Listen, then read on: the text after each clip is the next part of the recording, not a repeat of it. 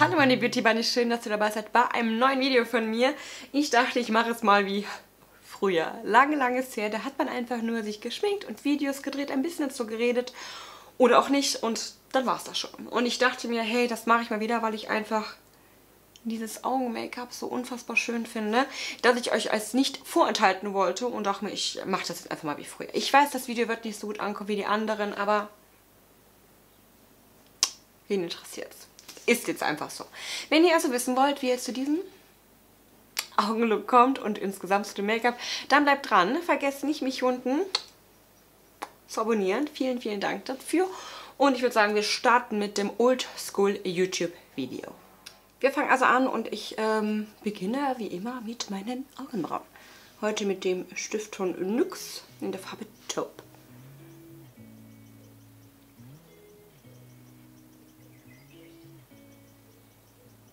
Also eigentlich ist das T-Shirt so orange, Neonfarben, Lachsfarben, aber irgendwie kommt es der Kamera nicht drüber. Auch ähm, mein Nagellack ist genau die gleiche Farbe wie mein T-Shirt, aber ja, ihr seht das nicht ganz so krass, wie es in Wirklichkeit ist. Schade. Ähm, ja, das nächste Produkt ist auf jeden Fall jetzt ein Lidschatten Base hier von Pretty Vulgar. Habe ich hier noch gehabt. Ist okay, gibt bessere, gibt schlechtere. So ein Mittelklasse-Ding, das war irgendwann mal ein Angebot bei Douglas, deswegen habe ich es getestet. Also es färbt halt nicht ein, es settet wirklich nur das Lid. Das macht es ganz gut, aber wenn man jetzt was Einfärbendes möchte, dann ist es nicht das Richtige. Also das ist ja nicht deckend, habe ich euch gerade erklärt. Damit es aber deckt, gehe ich mit einem Concealer drüber. Heute mit dem Bell Cosmetics Concealer. Den kriegt ihr beim Müller. Und das ist die Farbe 001 Light. Ihr seht, das gebe ich mal drauf und verblende das. Weil wenn ich jetzt nur Concealer nehmen würde, kriegt das bei mir sofort in die Falten. Das bringt also nichts und hält nicht so lange. Deswegen mache ich das immer so. Für den Lidschatten habe ich euch jetzt mal näher rangeholt und heute nehme ich die Colourpop Palette Sweet Talk. Das ist eine Palette, die benutze ich sehr häufig. Die hat so wunderschöne Peach-Rosa-Töne drin. Passt perfekt heute zu meinem Outfit, weswegen ich die auch gewählt habe. Und als erstes gehe ich in diese Farbe hier. Das ist ein wunderschönes helles Rosa. Das gebe ich mir einmal über meine Crease. Und verblende das. Das ist ein ganz sanfter Rosaton. Peach-Rosa. So perfekt für als Starterfarbe. Ihr seht das, also eigentlich seht ihr es nicht, ähm, weil es echt so sanft ist, aber so ein Hauch von etwas ist auf den Lidern drauf. Die nächste Farbe, die ich gerne verwenden möchte, ist die Farbe Dream Maker von dieser Colourpop Palette. Mit der arbeite ich heute eigentlich nur mit dieser Palette. Und ähm, an sich ist die Palette erstmal total unscheinbar, aber aufgetragen wunderschöne Farben. Also wenn ihr irgendwie was sucht, was passt, würde ich da noch mal schauen. Momentan ist es ein bisschen schwierig, glaube ich, mit dem Versand durch Corona. Aber ihr könnt bei Colourpop bestellen bis 25 Euro und dann habt ihr es Versandkosten, nicht versandkostenfrei, aber ihr habt es auf jeden Fall zollfrei.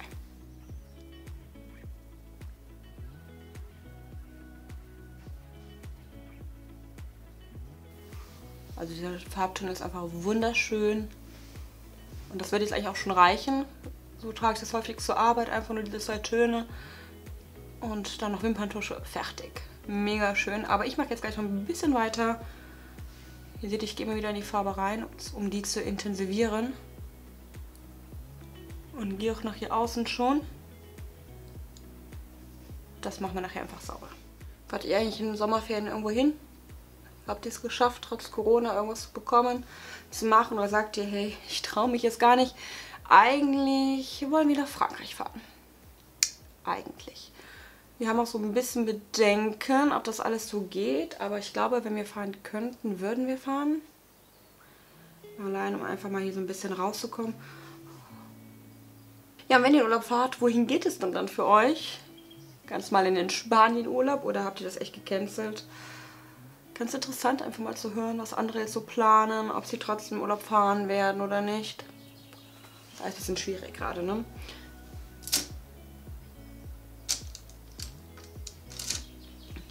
So, ich gehe in die nächst dunkelste Farbe und das ist diese Farbe hier namens... Ich kann es gar nicht lesen, weil es so dreckig ist. Meadow. Gut. Auf jeden Fall in diese dunklere Farbe. Ist ein Ticken dunkler als die hier. Und letztlich ganz nah mein Wimpernkranz.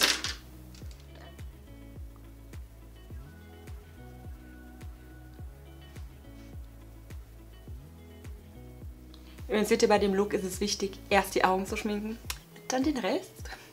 Wenn man unten drunter mal so viel rumsaut und man so nah am Wimpernkranz rubbelt, reibt, schminkt. Ja, ja, ja, ja. Wir machen weiter. Ich gehe in die nächst dunkelste Farbe und mit einem kleineren Pinsel. Das ist hier einer von Sueva, ein 230 Lux Pencil. Und die dunklere Farbe ist die. Ich würde euch die Farbe ja gerne nennen, wie sie heißt, aber es ist so kompliziert, dass ich es lieber lasse, bevor ich mich hier maßlos blamiere. Und das setze ich wieder genau wie gerade eben die Farbe auf meinen Wimpernkranz, sehr nah. Und ziehe die Farbe auch schon nach außen.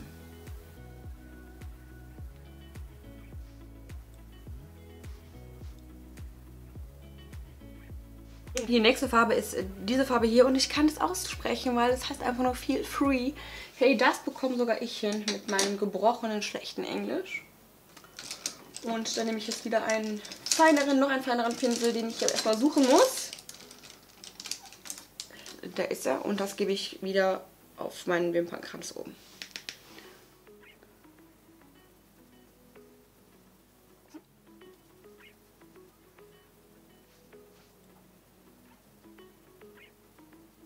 Ihr habt gesehen, ich bin gerade nochmal zurückgegangen in die hellere Farbe, um das zu verblenden. Und jetzt gehe ich wieder zurück in das Braun, um das nochmal zu intensivieren. Dann wird die Seite fertig. So, ich bereite schon mal meine Wimpern vor. Übrigens, wenn ich so ein durchsichtiges Wimpernbändchen habe und das soll aber gleich nicht so auffallen, mache ich es gerne, dass ich schon mal Eyeliner auf meine Wimpern gebe. Sieht dann so aus, also das ist einmal mit Eyeliner und dann kletsche ich den Eyeliner einfach drauf, lasse ihn antrocknen, bevor ich die Wimpern auf meine, also die unechten, auf meine echten gebe. Dann sieht man das nicht mehr so und ich muss dann gleich nochmal nachziehen sollte mit einem gut wasserfesten Stift passieren. Und so sieht es aus. Das lasse ich jetzt erstmal trocknen. Und ähm, ja, dann werde ich mir gerne noch die Fake Lashes drauf geben. Und dann kommen wir endlich zum Rest des Gesichtes. Aber jetzt seht ihr erstmal so unten relativ verschmiert. Ganz einfach so ein ja, einfaches Make-up-Küchlein. Und ihr seht, wische das einmal so entlang. Und dann habe ich hier auch so eine schöne Ecke, wie ich sie gerne hätte. Vor allem geht das Rote ein bisschen unter den Augen weg. Tada! Ich nehme wie immer den von Catrice, den Eyeliner. Das mache ich allerdings nur, weil ich jetzt heute Fake Lashes tragen möchte. Sonst bräuchte ich das gar nicht bei dem Look, finde ich. Aber wirkt nochmal ein bisschen intensiver.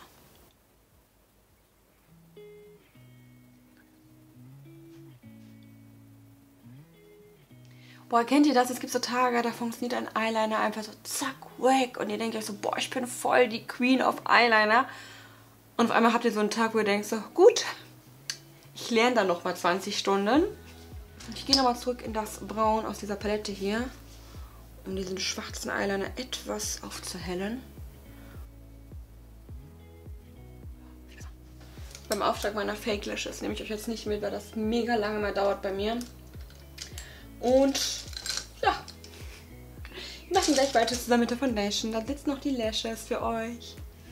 Wir machen weiter mit dem Primer. Die Wimpern sitzen nun endlich. Und mein Primer heute ist eine WR-Creme von It's Skin. Die stelle ich euch aber nochmal genauer vor in einem nächsten Video, wenn ich über koreanische ja, Beauty-Marke spreche, beziehungsweise Marken und Pflege. Und da zeige ich euch die nochmal. Das Ding habe ich gerade angespuckt, tatsächlich diesen Primer, das ist eigentlich kein Primer, sondern eigentlich eine Pflegecreme, aber das ist einfach eine Creme, die super gut einzieht und deswegen ist sie für mich optimal für das Make-up. Weil ich mag es einfach nicht, wenn Cremes nicht einziehen, dann bringt das mir überhaupt nichts und die pflegt, zieht aber auch noch ein und äh, ja, deswegen benutze ich die super gern. Und hinzu kommt sie bei irgendwann im Angebot. Von 30 Euro auf 6 Euro. Da musste ich sie mir doch mitnehmen, oder? Die Foundation, die ich heute mir rausgesucht habe, ist eine ziemlich alte Foundation, aber ich glaube, ich mochte sie. Und zwar Foundation Drops von Revolution Pro in der Farbe F5. Die ist etwas dunkler, aber ich glaube, das könnte ganz gut passen, weil ich leicht gebräunt bin. Übrigens, wenn ihr hier so komische, lustige braune Flecken im Gesicht seht, äh, das sind meine Sommersprossen. Ich kriege Sommerflecken anstatt Sommersprossen. Andere haben da echt Glück, dass sie so kleine, niedliche Dinger bekommen. Ich ähm, bekomme im Streusel. So, ich gebe mir das direkt aber auf meine Haut und verblende das mit einem Schwämmchen.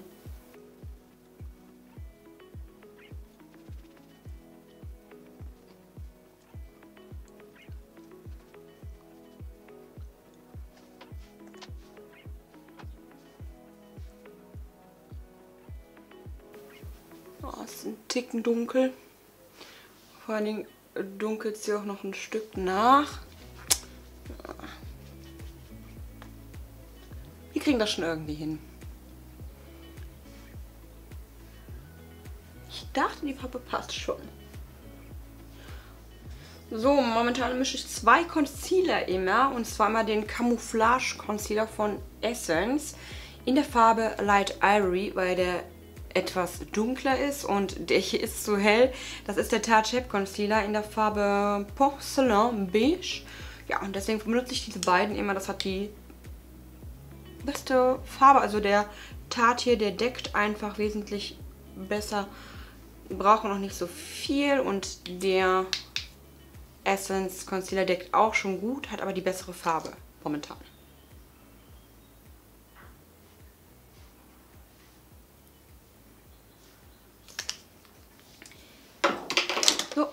Das wird hier verblendet.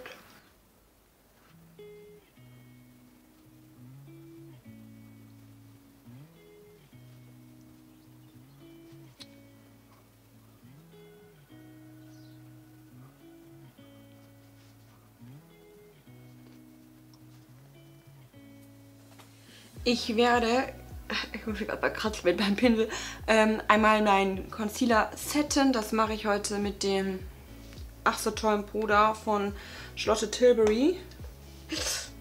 Oh, der bröckelt eben total auseinander. Ich kann euch auch nicht zeigen. Also ich habe ihn natürlich in Verwendung. Ich würde mir aber nicht wieder kaufen. Nein. Er macht einen guten Job, ja, aber es gibt echt vergleichbare. Da ich den jetzt aber habe, muss er weg. Sonst wird er irgendwann zu alt und stinkt nachher, da habe ich keinen Bock drauf. Ich habe euch näher rangeholt, weil wir mit den Augen weitermachen. Zum einen nehme ich jetzt zuerst den Coffee Pencil von MAC. Das ist das einzige Produkt, was ich von MAC regelmäßig verwende. Ist eben ein brauner Kajal und kein schwarzer, also nicht ganz so krass vom Unterschied. Und das verblende ich gleich mit meinem Braun, was ich oben schon verwendet habe. Und dann mit diesem Peach Lachs. Jetzt reden da draußen irgendwelche Leute. Also wenn ihr irgendwelche komischen Leute hier draußen reden hört, sind meine Nachbarn. Die wollen mit aufs Video.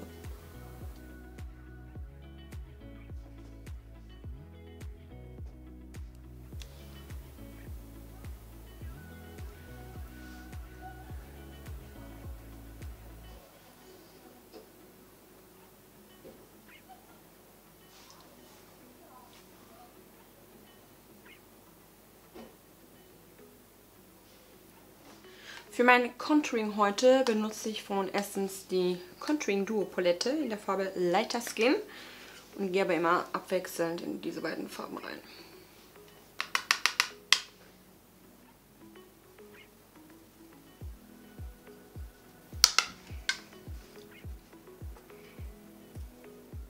Diese eine Strähne, die macht heute wahnsinnig. Die mischt sich in allen Angelegenheiten heute ein. Ich habe einen neuen Bronzer und zwar den Rival Loves Me Pastel Breeze Bronzer. Relativ kühle Farbe. Ich habe ihn gestern schon einmal getestet und der ist total pigmentiert intensiv. Also ähm, ja, da muss man aufpassen.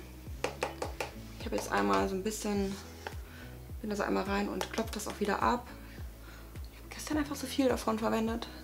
Der riecht so ein bisschen nach Kokos. Ist eigentlich so vom Auftrag echt schön, aber man muss wirklich schauen, dass man den abklopft und ganz sanft einarbeitet. Das ist zu intensiv. Seht ihr das? Wunderschön, aber echt intensiv.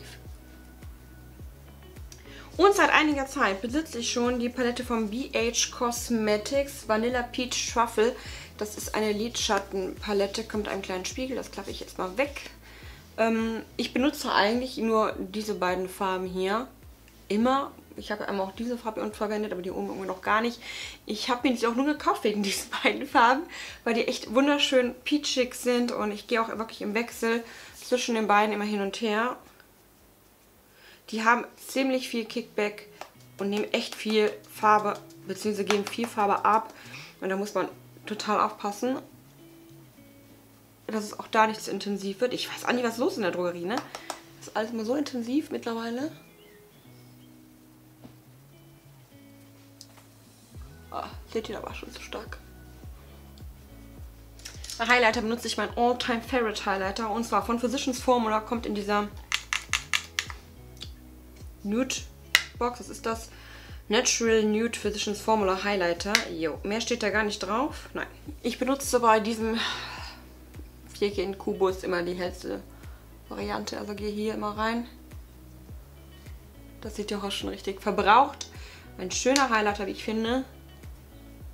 Weil er eben keine groben Partikel drin hat, sondern wirklich nur diesen Schimmer gibt. Das will ich. Ich tue jetzt noch schnell meine Wimpern. Hier jetzt eine von Essence. Ein Mascara, die Lash Princess. Mein Lippenstift ist heute der Soft Matte Lip Cream in der Farbe Stockholm. Ach, übrigens von NYX. Das ist der fertige Look mit meinem, ich sag's ehrlich, favorisierten Lidschatten. Das sieht aus, als wenn ich halt nicht viel drauf hätte. Die Wimpern machen es so nochmal richtig luxuriös. Ich liebe dieses Make-up total, vor allem dieses Augen-Make-up. Ich könnte es jetzt momentan immer tragen. Wunderschöne Palette von Colourpop. Ich bin gespannt, ob euch das Video gefallen hat. Es ist halt mal wieder was Altes, wie früher YouTube einfach war, dass man sich Tutorials angeschaut hat, ist ja nicht jedermanns Sache. Die meisten waren immer nur neu, neu, neu, neu. Aber manchmal ist auch was Altes einfach schön. Ich hoffe, das Video hat euch gefallen. Wenn es ist, dann lasst ihm doch gerne einen Daumen oben da. Vielen, vielen Dank. Ich wünsche euch jetzt eine wunderschöne Woche. Bleibt alle gesund und bis dann. Tschüss. Ich habe jetzt echt im neuen T-Shirt einen Foundation Fleck drin. Das kriege ich ja nie wieder ab. Shit. Ah. Wimper Ade. Scheiden tut wie. Diese Wimper kann mich mal, ist für mich total die Qual. Wimper Ade, komm und que